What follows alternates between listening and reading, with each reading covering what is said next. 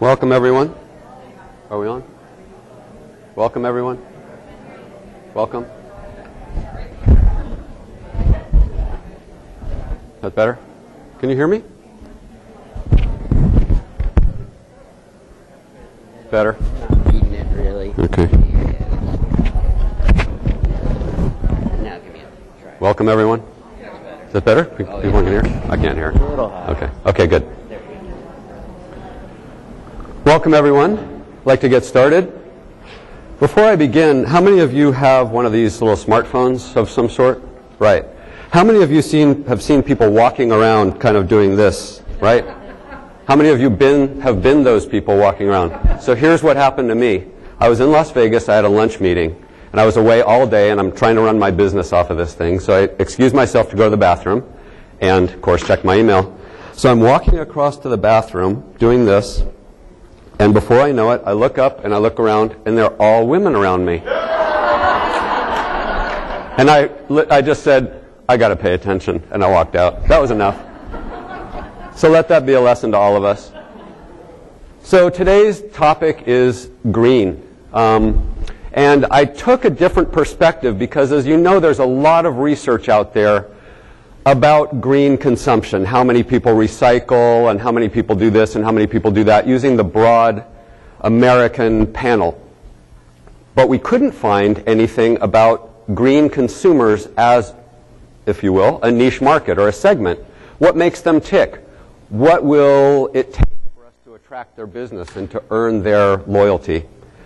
A little bit about my company. Um, CMI Green is part of Community Marketing Inc. We specialize in a variety of very important market segments. Um, LGBT is a big part of what we do. You may have heard me speak about LGBT meetings at previous uh, WECs. Uh, tourism and hospitality, most of our clients are really in this, in this segment, CSR, and so forth. And then our methodologies are the standard research methodologies of surveys, focus groups, advisory boards, and so forth. So we're developing this green segment as something that, that we really are committed to, and that's why we did this study. So a little bit about me before I begin. Um, back in 1969, I went to my first Earth Day. And back in those days, the whole environmental movement was so exciting and so cutting edge. Everybody was behind it, and everybody was doing things to make sure that they were more green, more environmental, more eco. You remember the Earth flag and, of course, the, the eco symbol, right? But then what happened? Gas got cheap again, and we bought SUVs, and we kind of lost track. And I love this quote the horrible to, to see everything that one detested in the past coming back wearing the colors of the future. Here we are again, facing the same challenges, hopefully this time more permanently. From our perspective, hopefully this time based on research and practicality and ROI, where it isn't a waving the earth flag decision, it's a ROI decision to make our practices more sustainable. So what I'd like to talk about today are a few different things. First of all, I'll talk about our research, how we did the research, and so forth. One thing as a research person that drives me crazy is when people start throwing numbers at me, and they don't say where they got those numbers and who they represent and what we're even talking about. So I want to cover our method, methodology. MPI is one of our partners in this. Um, and a profile of the greener consumer. And I know that we're talking about the meeting profession. But I wanted to start off with consumers because everybody, you know, at our foundation are individuals and we're consumers. So what makes us tick? What are some of the motivations and, and sensitivities and skepticisms that we face as consumers? And then I'm going to take it to the next step as business travel consumers, and then I want to do a profile of meeting professionals and some of the some of the things that we found about meeting professionals and how we're making a dent in that segment. I'm going to start wrapping up um, with some case studies of hotels and CVBs, um, and then I'll give you sort of a profile of the high level of the report. But um, just first of all, what is the, uh, the green travel um, study? It's about green travelers as an emerging niche market. And some of you may be offended by the concept of green being a niche market since it's so universally important. But we're focusing on consumers that are kind of cutting edge. So as I said, this isn't a profile of Americans. This is a profile of a subset of Americans who identify as being very eco-conscious and travelers. Okay? So that's who we're talking about. So it's not a general study of USA consumers. It is um, really a profile of this cutting edge segment. So what is in the study? It's 150 pages. It covers personal travel, what makes you green, some of the motivations, things that practically we're doing, media consumption, which magazines we're reading, which newspapers, which websites, marketing, motivations, hotels, restaurants, cruises, voluntourism is a big segment of the study that I'm not even going to have time to touch on today, as well as travel philanthropy, another big segment of the, of the study that I can't touch on today. But the nice thing about the study is everybody gets a copy. Um, we create a PDF of it, and at the end, I'm going to give you uh, an email address that you just write to that email address, even sitting here at the end of this, and you'll get an autoresponder with the link, and you download it, and there you have it. Read it on the plane home. Um, but this is our give back. Um, we have been very fortunate in focusing on some segments that have been very good to us. And we're also very, as you could tell from my opening slides, very passionate about this topic. Um, ever since my teenage years, it's been something very important to me personally. So we have put this out there over the past few years, and we've gotten requests from Syria and South Africa and Argentina and Korea, South Korea, um, really literally all over the world, from academic institutions, from hotel groups, from tour operators, from airlines, from aircraft manufacturers. They're all getting a lot of good insight from this. So um, the way we did the study was we did partnerships. This is really how we do a lot of our research. We take on partnerships. So in the case of the green study, we worked with ASTA, we worked with MPI, of course, we worked with NTA, we worked with USTOA, uh, Volunteer Matched, Travelocity, um, Sustainable Travel International, uh, DMAI. So all of these different organizations gave us input on the questionnaire. Okay? So they gave us a lot of insight in what they want answered as a result of this study. And we were very fortunate to have some sponsors in our second year that helped pay for some of the expenses. Um, but really, this is, this is something that we invest in. So what we did was we created these banners.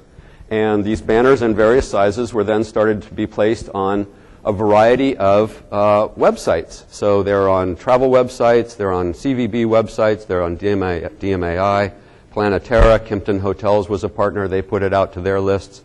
And then what happened was all these different channels of communication sent people to take our survey. So we had a really broad representation of this segment. And then we come to the profile of the greener traveler. Now, this is a research presentation, so therefore, by default, there will be a lot of charts. Okay? I will be happy to break it up if you have comments, questions, whatever. I'll also try and embellish a little bit. I don't want to stand here and just kind of read chart after chart, but I think you're going to find what makes the greener traveler tick to be pretty fascinating. In fact, there are some things in here that, um, that may change the way you do business. So, personal habits and trends. First of all, what is your understanding of what green travel is? Okay?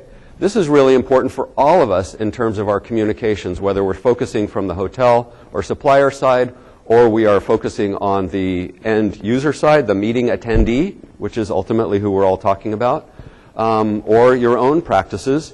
The eco-friendly hotel is the core of the greener travel experience, by far. And that core is really central to all communications and the overall experience. And I'm going to get into that in a couple minutes. What hotel environmental initiatives are most important to you? So, how many of you are in the hotel world? Good. Okay. So, these are some things that help make your end consumers tick. And what's interesting is this is really the first very consumer based approach to this subject. And until now, there really hasn't been a lot of data about what makes us tick. So, when you're creating your marketing plans and your imagery and your messaging and your offers, it's really important to know what they want because the best sale is, of course, delivering what the customer wants and is asking for. So if you offer recycling, hey, you're a big, a big uh, step of the way there. We're all staying, most of us who aren't in Orlando, are staying in hotels, right? How many of us have recycling bins in our hotel rooms? Yeah, I don't. So this is, this is a, a key factor in terms of our communications and delivering on the promise. Now, I'm going to answer the question I don't want you all to get up and leave when I answer it, but where's the ROI in green meetings? The ROI in green meetings isn't about marketing. It isn't about adding a little bit of extra money to give a greener experience. It's about operations. Where's the money being saved? In energy efficiency, in water efficiency, in uh, occupancy controls, pulling your little card out as you walk out, and then everything shuts down. These are motivations for consumers, and very fortunately for all of us, they are also an amazing way to save money and deliver a, a more sustainable product.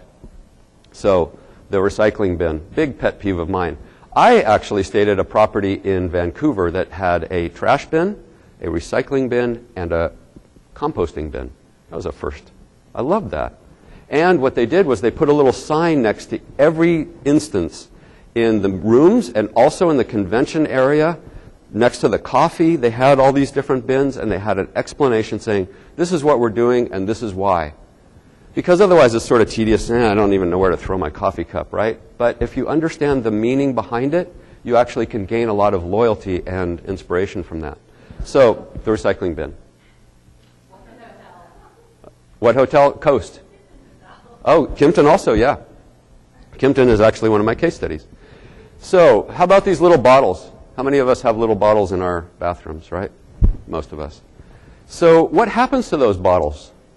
This is a picture from um, the waterway just leading out of LAX, where most of these little bottles end up.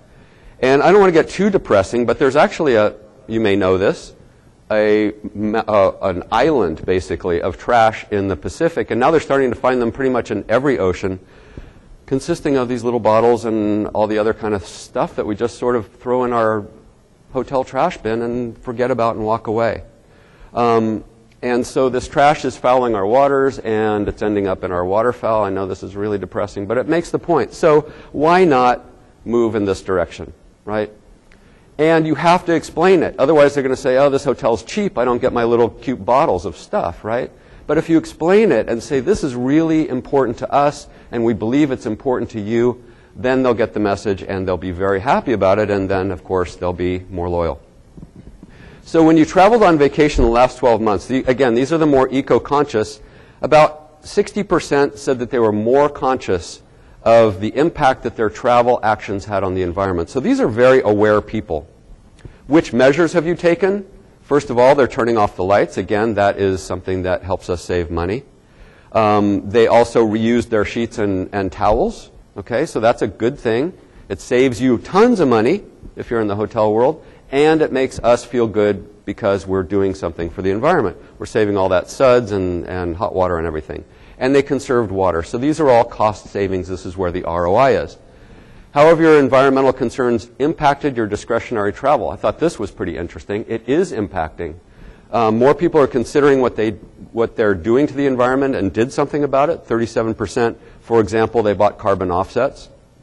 Um, some were so concerned they actually traveled less.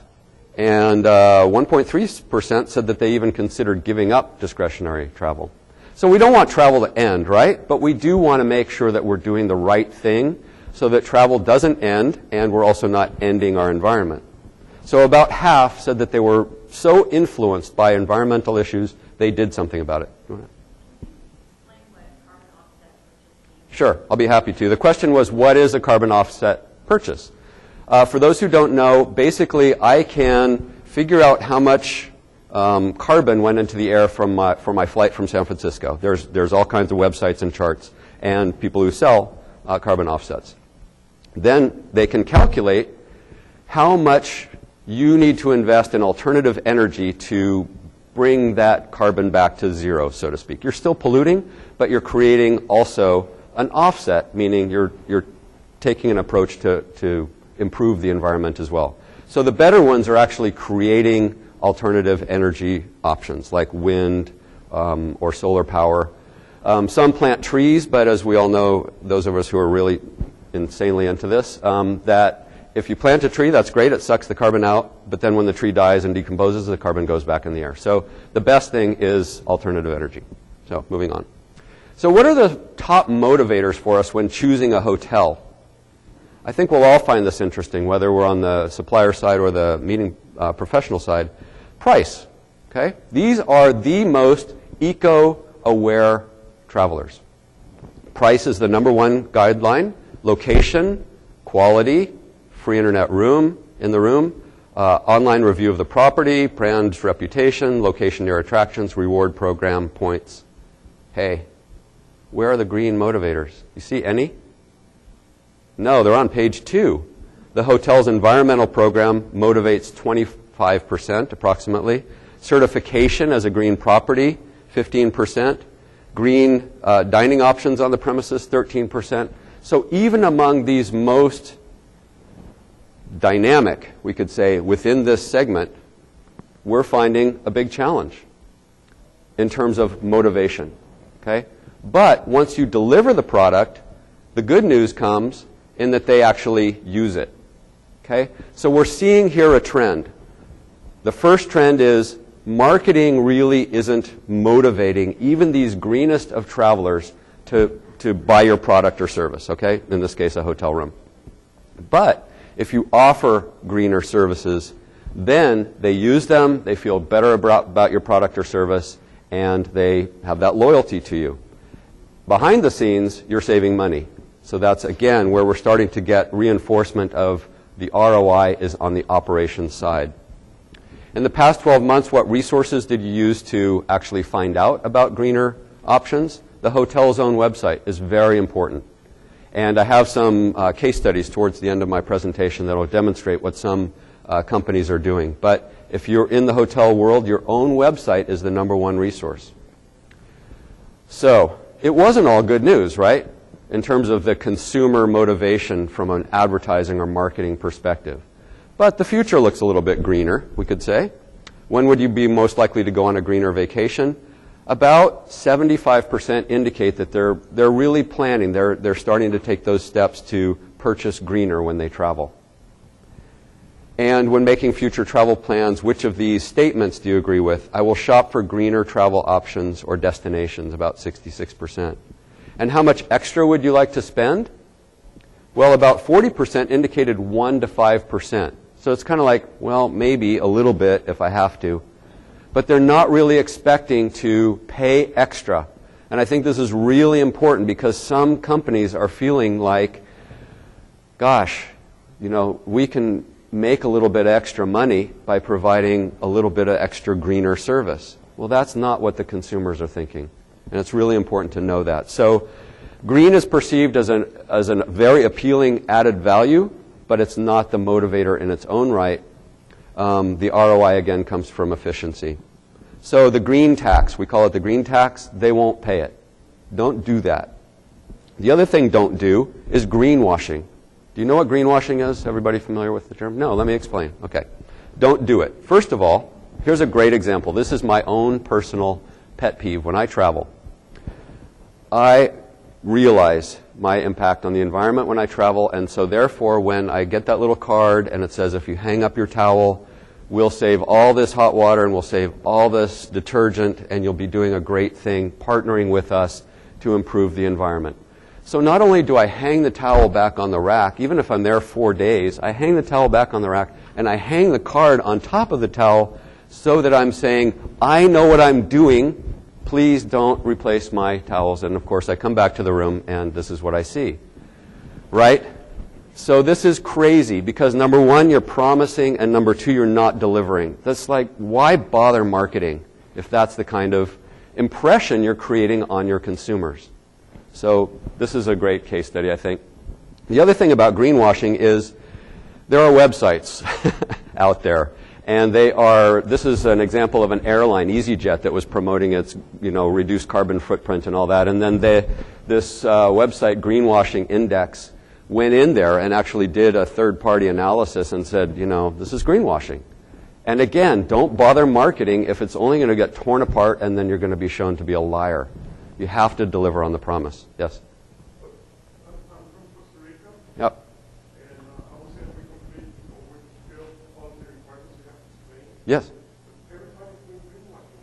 I know. Yes. Because they are really putting in place the policies not only bring benefits, marketing wise or logistics or whatever, I mean, they actually bring yeah. to everybody. They do. I know. The point is, even with all this information, companies are still greenwashing, and that's a really big, important point. And I'm going to cover a little bit about the, the certifications that are out there and some of the skepticism that's out there about even the certifications. So I'm not here with a lot of answers. I'm here with research and what I'm sort of em- emphasizing, but I can't answer why people still greenwash in any way. They pink wash too. They say they're gay friendly and then they're not, right? So they do all kinds of washing and it just backfires. So let's talk about marketing and communications and some of the, the issues that we're facing in terms of skepticism. So what are some of the terms? Okay, we're all interested in green. We're all interested in sustainability. What are some of the terms that we should use in our marketing and advertising? Well, socially responsible and sustainable are the two terms that are by far the most important to this segment. So you might ask, where, well, where's green? The word green is way down here, 14%. And the color green is way down there at 6.5%.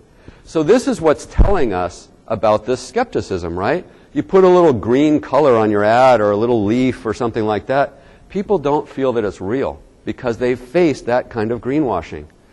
It's a challenge. That's why I said I don't have all the answers. I'm trying to find them through research, but really, this is a challenge, and we have to deliver on the promise. That is the solution to the challenge, is if we can all as an industry get together and deliver on the promise. Because, hey, it's not only good for the environment, but it's also good for our bottom line.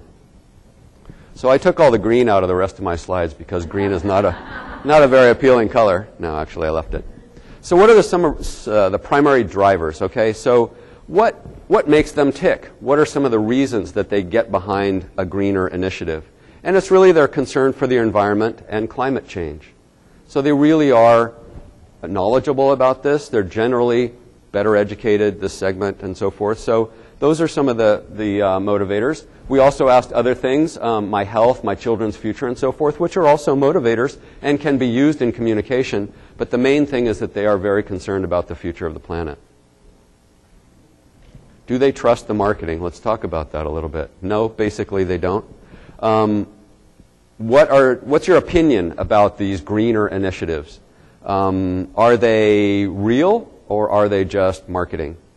And about 33% said that they are a marketing tool, but also it's good for the environment. So that's okay, actually. And 13% said it's a good way of protecting the environment. So about half are saying that green initiatives are genuine and they are motivators. But the other half are very skeptical. And again, these are the greenest of our, uh, of our consumer base. How do you determine that a travel supplier is truly environmentally friendly? They do respect third party certifications. But there's a lot of skepticism about that too, because they don't really know. There are so many, right? How many are there? Anybody know? Like 50 or something?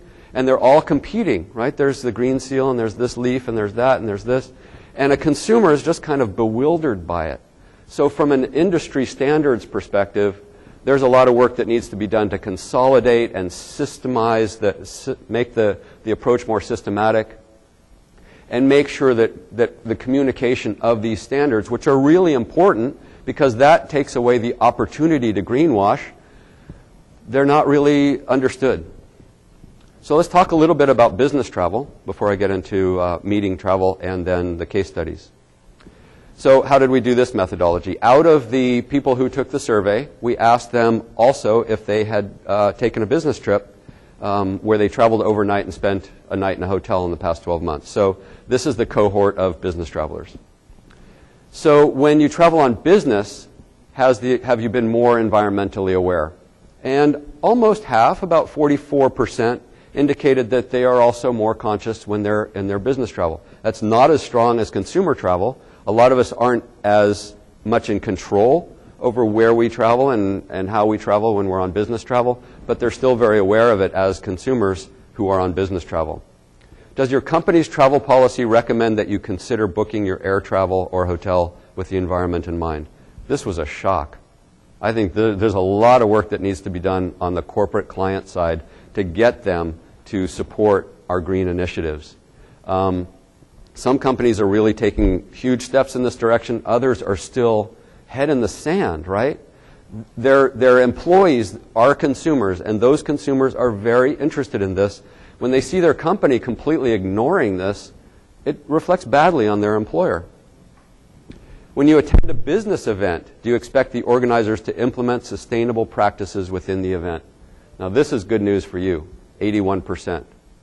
So they're on business travel. They expect that the events will be more environmentally progressive, 80% of them.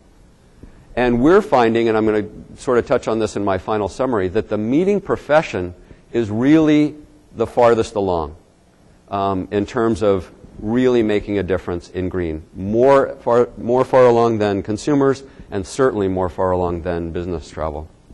So, a few points that we found from um, meeting professionals that we surveyed. There were about 200 of our cohort who plan meetings, and that's who I, I want to talk about just for a minute. But I also want to say this is high level. I mean, there's a ton of deep information in, this, in the report, and I really encourage you, if you're into this, to just read it. Because you have two years of the study that are covered. We have our 19, where am I? 2009 study, and then we have our 2010 study, and all the changes that took place from 2009 to 2010 are highlighted in red. So you can start to see the trends. And when we do our next one, we'll pick another color and just sort of be able to, to highlight what's going on. So anyway, back to the, to the report. Uh, about 200 plan or manage business meetings. When organizing or planning a meeting or conference, does your company explicitly work to incorporate green meeting best practices? Again, 75%. So this is great because we saw for business travel it was about, what, 72% said no. Now we're seeing 74% when it comes to meetings where the environment is more controlled and there's sort of a, a more connection to what we're doing with our environment, the meeting profession is really the, the we could say the green light in the, in the industry. Which of these websites do you use? These are some of the resources that they've referred to. The Green Meeting Industry Council and MPI are the strongest. There are also other really good, important websites that can be referred to. Lots of information. If you go to the MPI site, our report is able, you can download that there too. So everybody's kind of kicking in on that. What would you need, basically, to implement more sustainable strategies? Well, more information on how to do it. Well, we know that there's lots of information out there. So it's kind of resolved if people go to those resources. And cost savings. They're finding, you're finding, that cost savings are really important as a motivator to get this job done. So if we can communicate not that we're waving the earth flag, but to our client that these are the steps we're taking to make this event greener, and by the way, it will also be less expensive because we're doing these things that will save you money, like not little bottles of water for everybody. So again, the ROI is coming from cost savings and, and as part of the sustainable uh, strategy. What are the following areas that you incorporate? Food and beverage, interestingly, are very strong. On-site operations of recycling. It's good to see these recycling bins all through this uh, convention center. Communication strategies, right? My whole presentation is a PDF. My handout, which is the report, is a PDF. You know, five years ago, you would have walked in and everybody would have a 150-page thing on their seat, right? That you may flip through and put on a shelf or something, and, and all those trees gone. So these are some of the things that you're doing, um, top line, and we're going to be obviously um, monitoring this year after year. Uh, do you find that the suppliers are meeting your needs? Um, and 60% said sometimes, 22% um, said yes. Um, and do you plan on incorporating more green sustainable practices? These are the meeting professionals again. About 75% are into this. So this is, like I said, this is the bright light, the green light in the overall consumer, business, and meeting professional industries around travel. It's really about you. So let's talk a little bit about case studies, and then I'm trying to sort of end a little bit on the early side so that I could, we can all share some case studies among ourselves. This is just literally a few. There are some really inspiring case studies out there touching on a few will just give us a few ideas. Oh, that's what San Francisco is doing, or that's what Kimpton is doing, and so forth. But these are by no means the exclusive list. I know all of you probably have things that you can share as well, and that's what I'd like to hear, you know, us share at the end. So Kimpton Hotels has a deep commitment to the environment. They have their Earth Care program. Um, it's part of their mission statement. When you sign up for Kimpton's In Touch program, which is their loyalty program, you have an opportunity to check a box for their Earth Care program. So this does two things. One is it lets every consumer who stays at, at Kimpton know that you are committed to the environment and you can click and learn a lot more about their environmental initiatives. The other good thing is that they can track you. Okay? So if you're staying at Kimpton Hotels and you've checked that box, they know that these are environmentally aware members of their program. They can see how much business they're bringing to the hotel and track that growth over time as well. So there's another way to track ROI. So I asked these different case studies to, to recommend to you what they, they suggest. So first of all, their three components are linen use reuse program, okay? Recycling of paper plastics, composting of food waste, energy strategies, including uh, the, the sensors in the rooms and so forth. So these are some of the things that they're doing really from an ROI side, again, from the operations side. And they have advice for the hotels, get with it, and feel free to ask for help. So again, you have this, you can refer back to it. If I had three hours, I'd be glad to go into every detail, but we really don't. So this is just sort of top line again. Um, they have meetings, they have committees, they have overall employee groups that are uh, working with the company to make sure that these things aren't greenwashing and that they are really doing the, the trick. So they have these meetings. Um, they send out memos, things that each of the properties can do. It's ongoing. And this is an ongoing topic, right? Westin Bonaventure, they uh, certify their property um, with the green seal, and they have also um, been very good about tracking their ROI. They've identified a cost reduction of $316,000 uh, per year, about 6.8% um, savings by implementing green practices. Now, you know how difficult it is to grow your business by 6.8%. It's much easier to do some very systematic and fundamental cost cutting, earth saving things to earn that money much easier. Um, advice for other hotels consider the ROI and environmental impact. We have to consider ROI and environmental impact. We can't just keep throwing stuff away, right? I mean, ultimately, this costs money. We can't keep polluting the air because ultimately it costs in health care and disease and everything else that we're troubled with.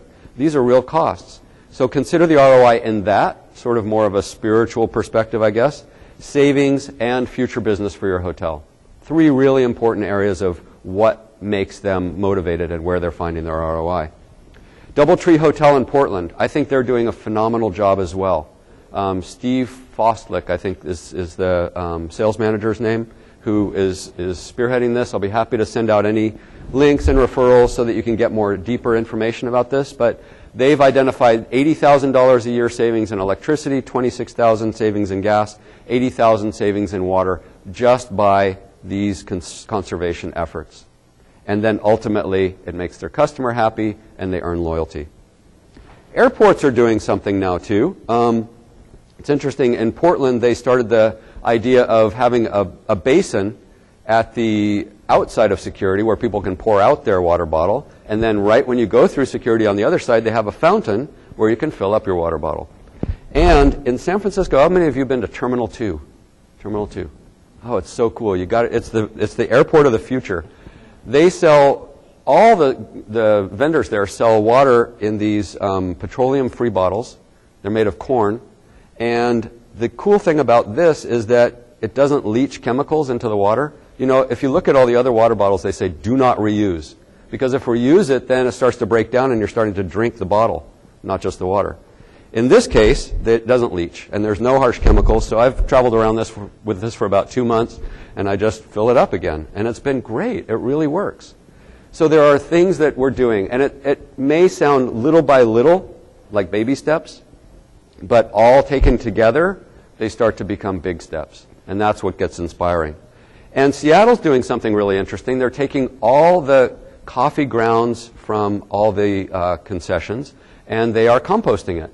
And there's a farm nearby where all those coffee grounds go in and they help the farms grow. So there are innovative things that are happening. Um, but I think if you can, if you're in the airline or airport world, check out what San Francisco has done with their Terminal 2. I think Terminal 2 is something like 90% uh, reused or recycled materials to build the entire terminal. It's really inspiring. It's full of light and there's organic food and it's just, it's really pretty cool. So Travelocity, I think, is another good case study. They're obviously an online travel agency, um, but they're very committed to the, the green side of things, and they're also working with business travel. Um, they have their Travel for Good area. They have a podcast series which lets consumers and business travelers download it and start to learn about some of the things that they can do as they're traveling to conserve the environment. They also have, through their green segment, they indicate which are the properties that are eco-friendly using third-party um, verification. So if they qualify based on those third-party verifications, then they qualify to be in their green collection, and of course they partner with hotels that are already taking those steps. So that's Travelocity. So some of their key learnings I think are important too. Reduce our own environmental footprint. Whatever office we're in, whether it's a small two-person or four-person or ten-person office, we can all take these steps personally, and we have to. We really need to, you know, walk the walk, so to speak. So look at your own uh, footprint. Promote environmentally responsible, sustainable business practices. So that's what they're doing through their podcasts and their search engine. And offer your customers products and services that will help them promote sustainable travel. So what they're trying to do is get that kind of viral effect that, oh, I bought from Travelocity and they helped me reduce my carbon footprint. Maybe you should check out Travelocity's green webpage. And that kind of gets that going, and that's what they help facilitate, which is obviously good for their business as well. Expedia also has uh, a green travel guide on their site. They work with Sustainable Travel International. Uh, they're based in Oregon, but they really have um, activities around the world. There are basically, they sell carbon offsets, by the way. Um, there are two kinds of companies that will sell carbon offsets. One are the for-profit, the other are the non-profit. And so you might want to take a look at both and see which ones would deliver the best partnership for you. Both are, are doing good work. You also want to see what kind of carbon offset they're doing um, because some are actually, this is interesting, some of these carbon offset resellers are selling into projects that are already being built. So that's what we call non incremental. What you want to do is give money to a new project that wasn't already funded and built, and you're just sort of paying off for them, right? Hopefully that made some sense. Um, so anyway, Sustainable Travel International is good. So as far as the greener meetings go, I love Margaret Mead's quote, never doubt that a small group of thoughtful, committed citizens can change the world. Indeed, it is the only thing that ever has. And that's who's in this room today. So let's talk a little bit about CVBs, what some of the CVBs are doing. I think San Francisco, not that I'm just from there, right, but San Francisco is a great case study. They're doing amazing things in the, in the green and uh, sustainable segment. Um, I had the opportunity to speak with Lynn Bruni from this from Travel San Francisco um, at a conference, and she shared with me some of her slides. Um, basically, they have, as a city, uh, banned plastic bags, and so that translates into the CVB as well. So the convention center, there's no plastic bags, period. Uh, they've banned styrofoam. They've banned, banned plastic water bottles. Um, there's mandatory re- recycling and composting across the city. If I don't throw my banana peel in my green bin, I could be hauled off to jail. Right? Not that it really happens, but it is on the books as a policy of the city that, you know, put the right thing in the right place. And the, the CVB, the, the convention center, is really working towards minimizing or literally eliminating um, the, any, any kind of waste. So they're doing some great things. The Moscone Center also has the largest solar installation on any municipal building in the United States. If you look out from any tall building in most of the southern U.S., you look at just the top of the building, right? But you think about all the solar energy that those could be collecting. Well, San Francisco is covered with fog, but they're still making an impact by putting solar panels on their roofs and paying basically for most of their electricity.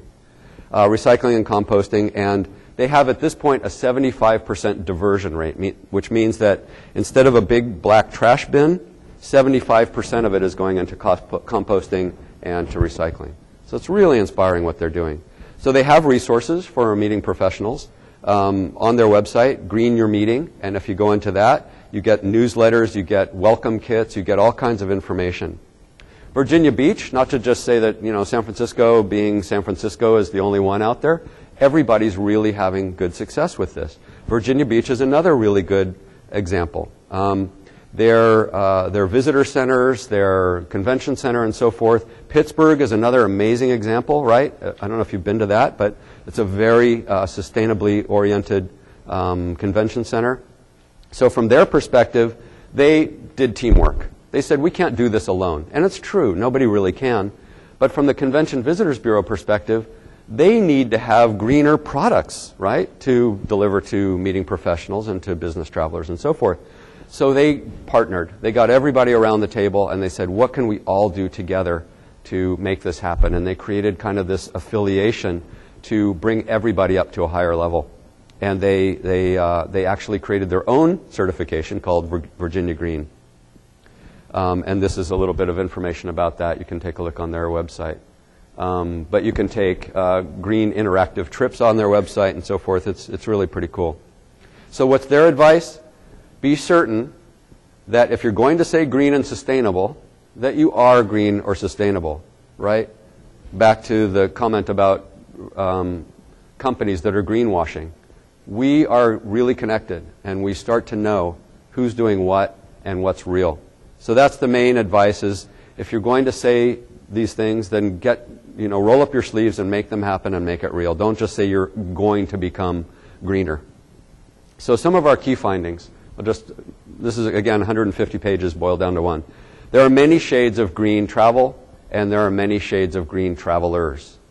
And the idea of this study, and I think what you'll gain from reading the study, is that the best of us the greenest of us, the most educated, the most environmentally aware travelers, we still have some work to do. But they are leading the edge in terms of where we should communicate, how we should communicate, and that we should deliver on the promise. So there are many shades of green travelers. Do green travelers really walk the walk? And I put maybe. Um, in some cases, they will. But is your price good? Do you have internet in the rooms? You know, do you have a, a gym on site? Those kinds of things seem to be priorities. But if you deliver green, then they appreciate it and they make full use of it. They have a low tolerance for high premiums, so that green tax idea. You can't just jack up the price because you're doing a greener product. They don't expect that. They know that your ultimate ROI comes from savings. Um, travel industry's sustainability practices, according to consumers, needs work. Green leadership vacuum there is room for differentiation. And what I mean by that is it's kind of a hodgepodge out there right now. There's some companies doing some things, some companies doing others, some not doing much. But from a consumer perspective, they don't really know yet who's doing the best job. And of course, if they can identify who's doing the best job, that's where the business will go. Uh, green skepticism, uh, there is a need for certification. As I said, there's lots of certification. I think what really I mean to say here is there needs to be some consistency in certification. Um, the Green um, Sustainability Initiative, I'm mangling that, but there's a, a global um, protocol for what is really green in terms of the travel industry. And different organizations have different mixes of that list of protocol. The reason I mentioned the Sustainable Travel International is they have the most, basically, of, of all those global uh, sustainability policies. We're very influenced by each other. I didn't get a whole lot into advertising and marketing, but we tell each other. And so that means that if you deliver a good product or service and deliver on your promise, that they will tell everybody else. They'll tell other meeting professionals. They'll tell business uh, clients where they're going and why. And that's really important. And the most sustainable um, sector we found is meeting professionals. And it's not just because I'm standing here in front of you trying to make you like me, but the reason is that it's real. That meeting professionals really are paving the way, I think, for better sustainability, real best practices. So, where's the ROI in greener meetings? First of all, it's in your operations. Whatever your operations. I know some of you are probably your operations just mean your, your uh, smartphone. But others of us have big physical plants and are operating chains of hotels or large companies. And that's really where we first see the ROI. The second is in HR, and that shouldn't be overlooked. When your employees can morally get behind what you're doing and create employee resource groups and help the company get greener and more sustainable, it makes them more proud to be an employee of that company. And that is great for your HR. It reduces your turnover and it improves the overall um, health of the, of the environment there. Third is sales and marketing, positioning and leveraging your best practices. So, what I'm saying is not sales and marketing in terms of the, the green tax. What I'm saying is sales and marketing in terms of positioning, in terms of communications, in terms of leveraging the steps that you've taken and letting people know that these are the steps you're taking. They want to know that. They're looking for it, but a lot of them aren't finding what you're doing. If it's all internal, maybe you think they don't care that you're saving electricity or you're saving on water, right? But they do. And they want to know what you're doing to take these steps. And then they will support you. Market share, first to market. I think there's still an opportunity for first to market in this segment. Even though all of us are doing, you know, certain, taking certain steps in certain ways, nobody is really, as far as consumers are telling us, and we list all the brands and everything, nobody is telling us this company is really doing the best job and therefore they get our loyalty. It's kind of a mix right now. So there's still, I think, a huge opportunity for this inevitable trend. And finally, leadership. It is the right thing to do. A lot of people will be motivated by number one, uh, making number five number one, that it is the right thing to do, and that's great. Whatever the motivations in here, all five of them really need to be there. The right thing to do is ultimately what happens, and ultimately we live, live in a, a more sustainable and healthy planet. Okay? So that's the ultimate thing. But that, unfortunately, isn't enough to drive a lot of decision makers and people who are pushing pencils and creating spreadsheets. So we need to demonstrate to them that the return on investment comes in savings. And when we can reduce our carbon footprint, we're also reducing our costs and we're a more profitable company. Which lets me circle back right to the beginning when I went to my first um, Earth Day celebration in 1969. It really was all about the right thing to do. We didn't know anything about ROI. We didn't know anything about savings. We just knew that we were destroying the planet step by step, and we needed to stop that trend. And then when gas got cheap again, everybody forgot about that because we didn't see the return on investment.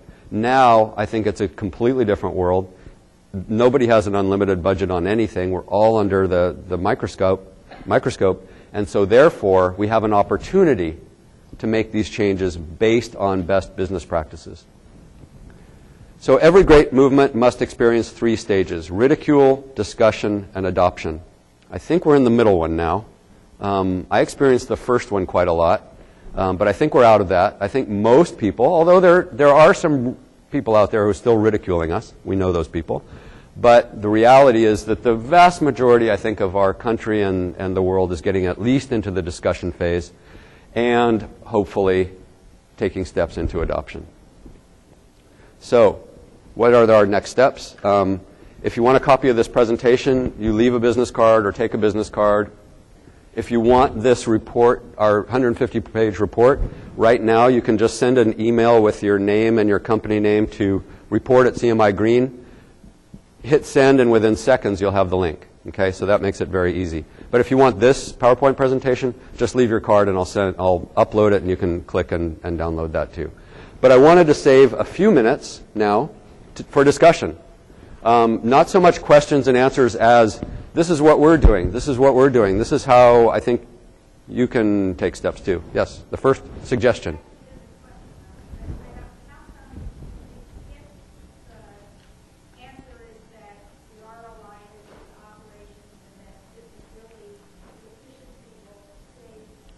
Yeah.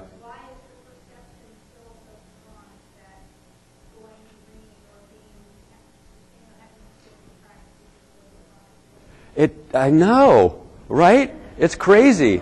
Because now we have case studies time after time of CVBs and hotel groups saying, no, look at, we saved $366,000 this year. So we just need to put this in front of whoever's making those decisions and get those case studies out there and, and get us talking and saying, no, it doesn't cost to save the environment. It actually saves money, and that's where the ROI is. It's all education. It's all communication. I really appreciate MPI giving me the opportunity to share some of this today because I want that conversation to continue, and I, it's not just idle gossip. It's it's hard facts. So go to the, the Westin Bonaventure and ask them for their spreadsheet. They're happy to share it with you. That's what we need to do.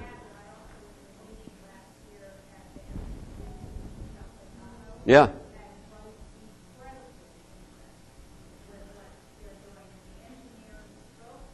Oh, wow.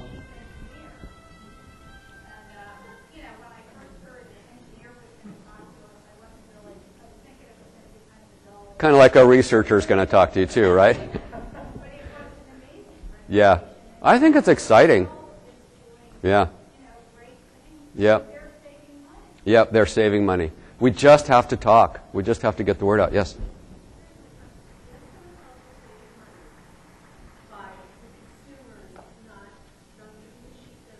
Sure.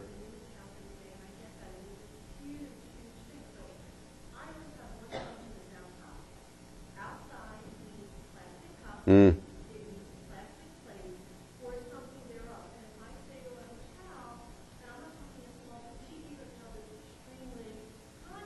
Hmm.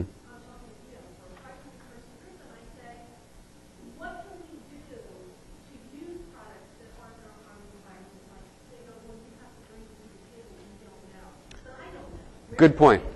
So I'm going to repeat that, and I'd love to get anybody who's had that experience and has an answer. Um, I have some ideas, but I'd love to get other people to, to talk. So the point here is that indoors, basically, we have control. The the client or the you know the end user is going to you know recycle and they're going to reuse the sheets and so forth. But then when we have an outdoor event, which she has to do one every time she does a, a, a program, then all the trash comes out, right? I mean, all the stuff that gets thrown away. So my perspective is two things. One is compost, because a lot of companies now are creating compostable cups, plates, potato base. I mean, go to SFO, honestly. All the cutlery at SFO2 is made out of potatoes.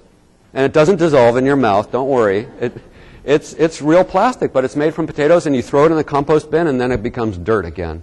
So there are solutions there, but there are also plastic reusable uh, plates and cups. Anybody else have ideas? Yes? Well, just to her comment that doing outdoor events, I work, I mentioned the San Francisco area. Yay. And I work for a large company, and there's a lady in our neighborhood who owns a company who comes, we do an event at our facility outside. She comes and sorts all the scrap. It costs like a hundred fifty dollars to have her come, and she does all, takes away all the scrap, and she comes up, and takes away all the plastic cups and plates that that go to the Hmm. She does the whole thing, and you end up with a little tiny bag Nice, nice. There may be a service like that in other cities too. That sounds very San Francisco, but hopefully that's spreading, right? Yeah.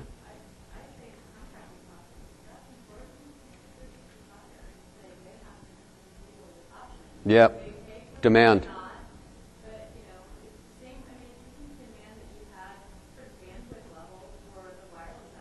But,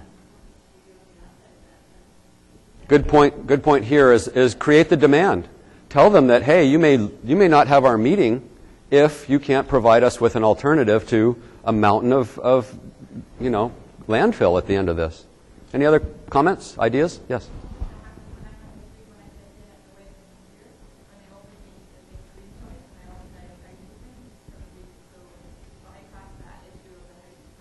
Yeah. Excellent. I love that. Great, great. So the idea here is that when she checked into the Westin here in Orlando, she was given the option of, of basically opting out of housekeeping for the week. And by doing that, she not only was able to save the planet in her own way, but also they gave her $5, which is a lot less than they saved, right? But they gave her $5 every day as a, as a hotel credit. So that's fantastic. I think it's what, 30 to 50 to $80 to service a room. So they're saving a huge amount and giving you a little bit that makes you feel good. Excellent.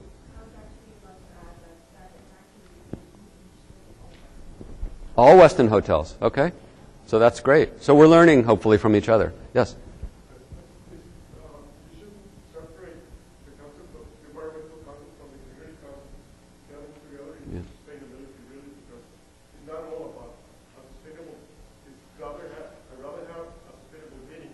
You should Yes. But I mean, it I mean, green practices and and environmental practices are good for everybody. But the main, the main thing is that you really gotta have a different perspective into approaching the whole thing, because you gotta be creative in that sense. You do right now. And you do have to provide alternatives. Mhm. You cannot go in, with, for example, we're certified four level in Costa Rica Sustainable Standard, which is a government run, it was a twenty-year-old standard. And the world known to be a sustainable destination. But still, there are areas where you have people that will have three separate, uh, even four, Mm. actually, uh, bins for their, uh, disposal. And somebody brings them out and somebody puts them together. Yeah, I know, right? Or the opposite, where things and then somebody else takes the time to separate everything. Sure. put it in- Because there's countries where there's no waste, like India. Yeah. example. Yeah. Or Brazil. Yeah. So you gotta find so many ways from, uh, gifts or made from recycled materials or. or, Yeah. You know, and logistics, you can find. It's a really good point. Basically, he's saying you have to deliver on the promise, and there are so many different ways to do it. His comment was, it's great you have these three bins, and then you watch the housekeeper come and throw it all into the, the trash bin, right? So it's like, oh my God, uh, everything that we've done, I hope nobody saw that, right?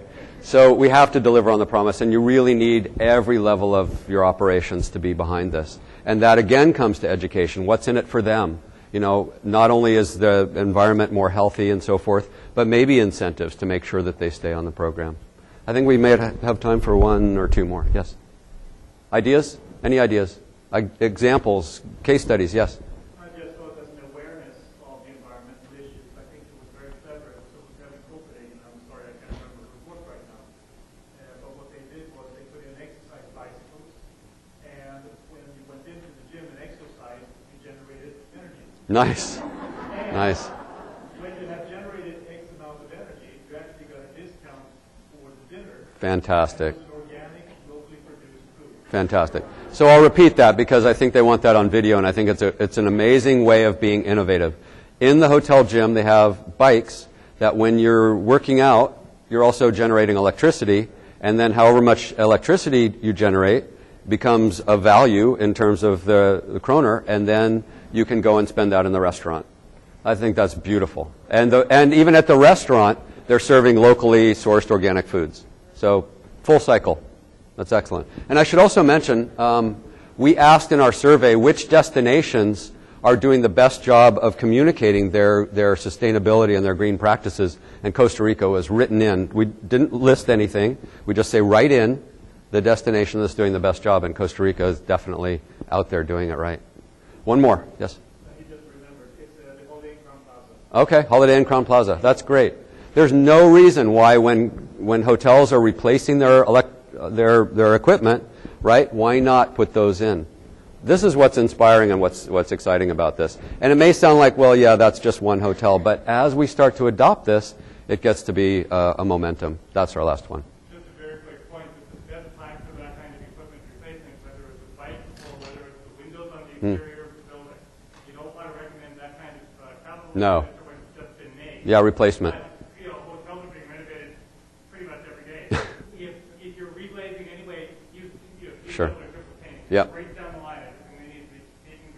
Right, exactly. And that's a really good point. When we're talking about savings and ultimately ROI, we're not going to save money for our hotel if we go in there and say we have to replace all the windows today with, with uh, better windows. But if in three years we're going through the process of floor by floor replacing all the windows, let's look into it and let's do it then.